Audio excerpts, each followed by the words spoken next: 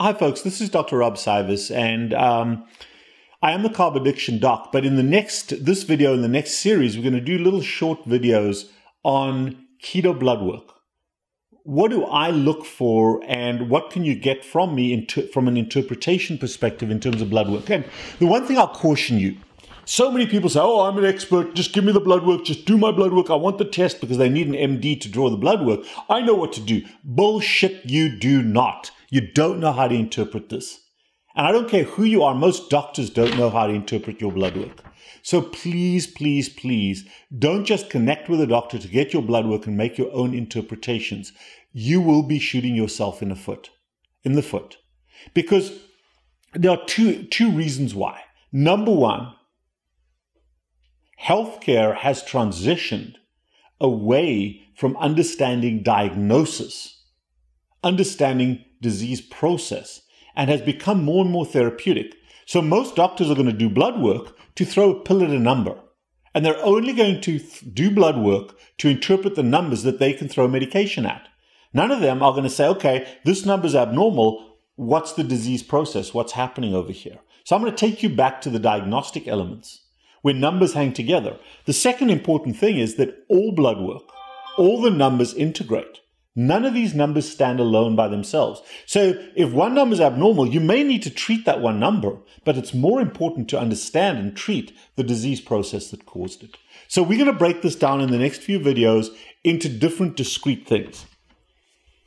And today what I'm going to talk about are the lipid numbers.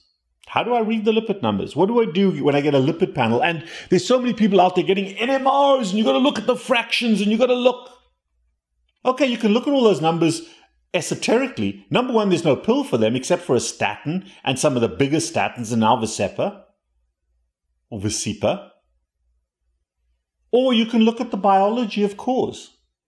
And it doesn't matter whether your LDL is big and fluffy or small and dense. It doesn't matter. It is highly predictable exactly what's going to happen with your numbers based on what you eat and drink irrespective to a large extent of what your biology is. Sometimes the numbers are off because the doctor doesn't understand what's happening.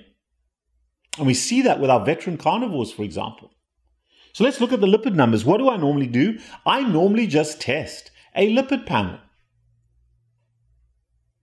But I'm going to combine with that lipid panel just in terms of talking. We do a whole bunch of blood work. But I'm going to combine with that in today's discussion hemoglobin A1C. Because why do we look at the lipids? The primary value of looking at your lipid uh, production is to be able to interpret cardiovascular health. That's why we're looking at it. The reason we're drawing these blood numbers is to look at cardiovascular risk and cardiovascular inflammation and cardiovascular health. And cardiovascular inflammation does not come from fat. Fat is responding to it. So, what are the markers? The first thing I'll tell you is that a simple lipid blood test for most people tells everything.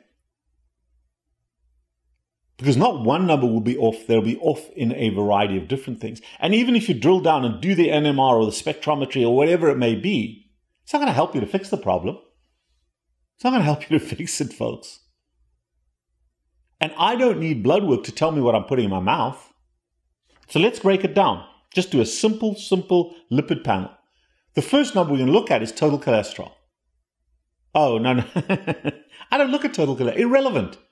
Most doctors focus on, oh, total cholesterol's up. You need BS. Total cholesterol is a combination of all the different lipoproteins in your bloodstream. Ignore it. It's an irrelevant number. Who cares if it's high?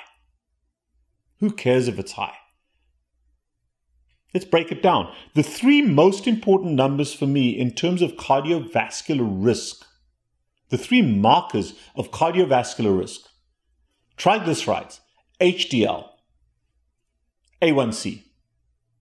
Those are my three markers. What about your LDL? What?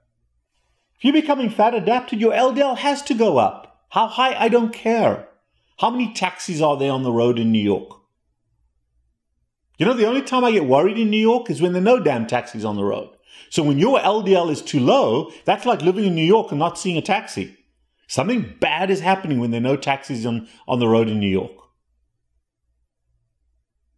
And if it was coronavirus that put those taxis back in the garages, that's not a good thing. Just like it's not a good thing when a statin puts the taxis that are called LDL in the garage. I cannot think of a plausible reason to prescribe a statin. I'm struggling as I sit here to find a plausible reason to say this person should be on a statin because of what statins do and don't do. I really, I really, really, really cannot find a plausible reason to prescribe a statin for a patient. Now, I've asked this of so many of my colleagues. And in my, my very descriptive home language, daar gesit met met vol tande. He sat there with his mouth full of teeth.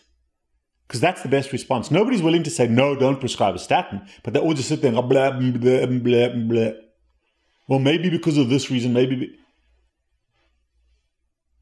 if you're going to work in the space, put it out there. And I cannot find a scientific reason, a plausible scientific reason for someone to tolerate the side effects of a statin because of the benefit. I have yet, and, and in all the research I've looked at, every time I look at something, the answer is negative. So that's just in my practice. Now, I evaluate every person specifically. But my advice is not necessarily go on a stat. My advice is if your numbers are off, look at the root cause. So let's look at those three numbers because those are the important three numbers. Why are triglycerides important? Because free triglycerides in the bloodstream are typically representative of the conversion of extra sugar extra sugar by the liver to triglycerides and the flow of triglycerides from the liver to the fat cells and to your the cells of your body where it gets used or stored. But it is a marker of chronic excessive carbohydrate production or consumption. That's why they're bad. Because remember, elevated sugar levels absolutely do damage the blood vascular system, and extra, excess blood sugar is the primary cause of cardiovascular disease if you don't smoke. So your triglycerides, and I use a number of 75. Ideally, I want my triglyceride count to be below 75 milligrams per deciliter. HDL. HDL is a lipoprotein that gets produced by the liver between meals. And HDL is indicative of low insulin. Uh, uh, a high HDL level is indicative of low insulin, higher glucagon levels, which is what we want. It's an ind- indicator of insulin sensitivity. People do what? Oh, it goes out and scavenges cholesterols. No, it doesn't. It is a transfer molecule for bringing cholesterol back to the liver. It's also a transfer molecule for sending zip code addresses in the form of lipoproteins to LDL and to IDL to tell them which cells to go to. But the HDL number is important because it gets produced between meals. You produce VLDL during meals very low density lipoprotein and, and HDL between meals, only when you're insulin sensitive. So if you're insulin resistant, your HDL numbers are going to be very low. And when you're insulin sensitive, and remember, the connection between vascular damage and sugar is far greater than the connection between lipids and vascular damage. So, if your HDL is going to be high, it is an indicator of insulin sensitivity. And ideally, I want an HDL above 75. It's one of the slowest molecules to get there because insulin resistance takes a long time to go away. So, I'm looking for an HDL above 75. And the next marker of vascular damage for me is not a lipid, it's, a, it's A1C, hemoglobin A1C. And ideally, I want that hemoglobin A1C below 5.2, at which number your blood sugar elevation is not great enough to cause significant vascular damage. Now, the lower you can get is not also good because you have to have sugar in your bloodstream. So ideally, I want that number between 4.7 and 5.2 around five is ideal. I've seen them as low as 4445. I think that's a little bit too low. But a hemoglobin A1C below 5.2, a triglycerides below 75, and an HDL above 75, you do not have vascular injury from sugar. It's that simple. And almost everybody that achieves that number has a low CAC score. Now, if you've damaged your blood vessels from before, that CAC score, the coronary artery calcium score, is going to be bad. But most people that can achieve these numbers have a zero or a two, which is equivalent of zero. That's for a patient of mine that I saw. Oh, I'm very upset that my CAC score is two. Okay. Um, the point is, folks, that we do these numbers to look at risk. And risk does not come from LDL. LDL is a taxi that transports fat around the human body. And in a fat adapted, healthy person, you want a lot of LDL. Expect your LDL to go up if you are healthy. So ideally, I want LDL between 120 and 300, and I'm fine with it being higher than that. I'm okay with your LDL being higher than that. If it's a lot higher than that, I want to know why, particularly in the context of triglyceride and HDL. But no one number stands in isolation. We've got to look at all those numbers together. But I worry when LDL levels get low. So understand your lipids. And if you want to know what your NMRs are and your fractionations and from a science perspective, I love that stuff. I get off on that stuff. But in my practice where I'm treating patients, those numbers don't matter. They don't matter. These are just guides to assess risk and to push you to the appropriate diet. These are motivating numbers, not therapeutic numbers. And that's where we get lost in the weeds. Too many doctors are being too esoteric, even on, in my space, in the ketogenic space. Yes, the science is great to understand what's happening metabolically and biologically.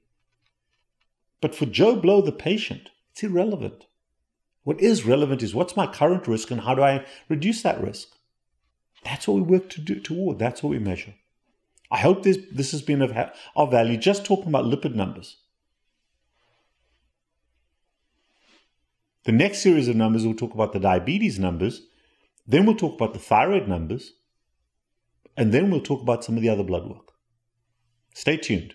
I am the Carb Addiction Doc. If you want to set up a visit, Text us 561 517 0642. And we always do the blood work with a caveat that let us look at this blood work with you. Because when you do your own interpretation, you get sucked in by the internet. That's not a good place to be. Because you don't know and the internet doesn't understand. There's some that do, but most don't. Don't be a victim. Don't be a know-it-all. Don't be a smartass. See you next time.